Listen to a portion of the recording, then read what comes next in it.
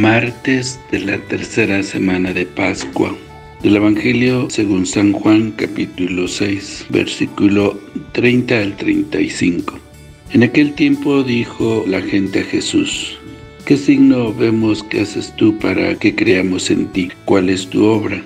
Nuestros padres comieron el maná en el desierto, como está escrito, les dio comer pan del cielo.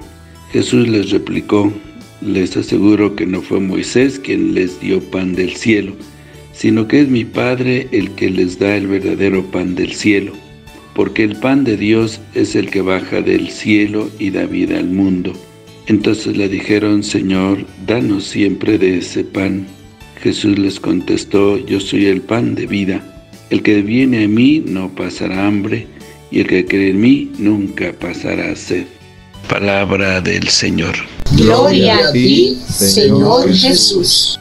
En el Evangelio la gente pide signos a Jesús y casi como provocándole le dicen que Moisés sí había hecho signos, el maná que proporcionó a los suyos en la travesía del desierto. Jesús les dice primero que no entendieron el significado profundo de lo que ahí pasó. Y ellos le preguntan en qué sentido tal significado. En las escrituras judías estaba dicho que a los que huyeron de Egipto Dios les dio comer pan del cielo, el maná del, desierto. Jesús le responde que el pan de Dios es el que da vida, no algunos privilegiados solamente, sino a todo el mundo. Pero aquí es determinante saber que en tiempos de Jesús cuando los judíos hablaban del pan de Dios, con esa expresión se refería a la ley que Dios dio al pueblo en el desierto por medio de Moisés. Aquí se establece el paralelismo entre Moisés y Jesús, entre el pan que nos sacia y el pan que da vida eterna. A partir de la experiencia de la multiplicación y del recuerdo histórico del maná, Jesús conduce a sus oyentes hacia la inteligencia más profunda del pan que Dios les quiere dar, que es el mismo. Jesús por eso dice, yo soy el pan de vida.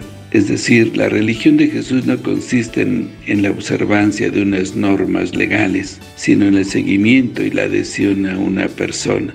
La estructura básica del cristianismo no es jurídica, sino personal, que consiste en ser fiel a la relación fiel a Jesús.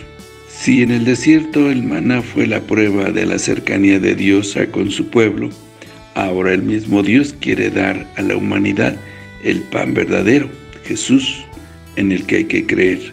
Por tanto, la ley de los cristianos es Jesús mismo, su profunda humanidad, su bondad, su tolerancia, su cercanía a todo el que sufre, su capacidad de comprender sobre todo a los más alejados. El hombre de hoy está sediento, está hambriento y no sabe de qué.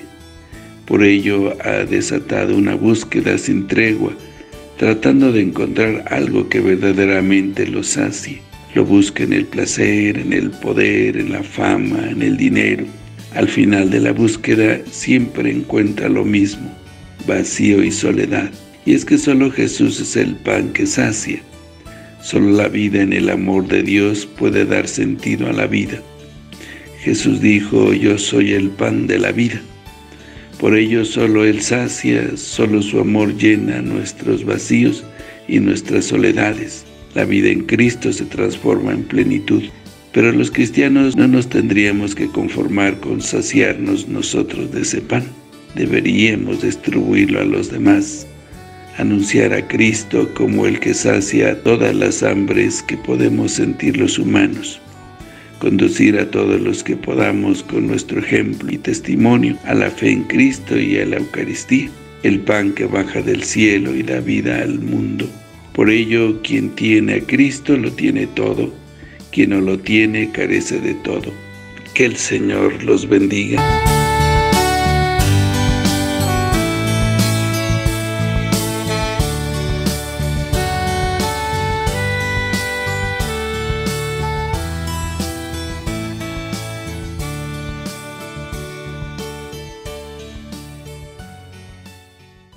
La bendición de Dios Todopoderoso, Padre, Hijo y Espíritu Santo, descienda sobre ustedes que los acompañe siempre. Que el Señor los bendiga. Si te gustó este video y deseas seguir recibiendo el Evangelio, misa en vivo, oraciones y muchas reflexiones más, ayúdanos a seguir creciendo. Suscríbete a este canal de YouTube, activa la campana de notificaciones, deja tu comentario, dale me gusta y compártelo con todos tus seres queridos. Que el Señor te bendiga a ti y a toda tu familia. Bendiciones.